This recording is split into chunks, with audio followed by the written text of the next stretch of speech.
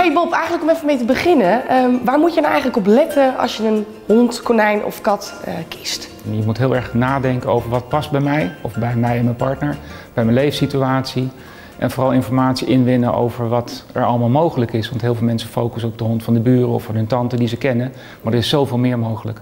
En hoe weet je als eigenaar nou of het de juiste match is? Dat blijkt net zoals in het echte leven wel eens later.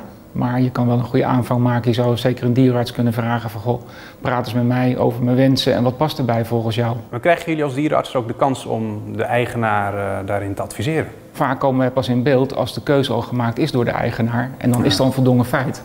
En als wij dan aankomen van ja mevrouw, dat is niet zo'n goede keus. Nou, dat is vrij kansloos. Dus eigenlijk komen we vaak te laat in beeld. Wat wij het liefst zou willen als professionals...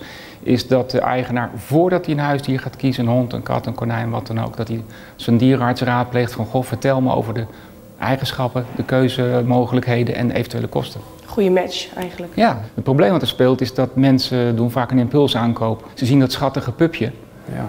En alles begint als pupje. Maar de ene pup wordt uiteindelijk 60 kilo en de ander eh, 1500 gram. Ja. En Precies. dat hebben mensen niet altijd door. En uiteindelijk heb je dan 60 kilo aan de lijn. En als je dat niet goed kan mannen, als die hond niet goed opgevoed is of je hebt onvoldoende kennis, dan komen er gedragsproblemen.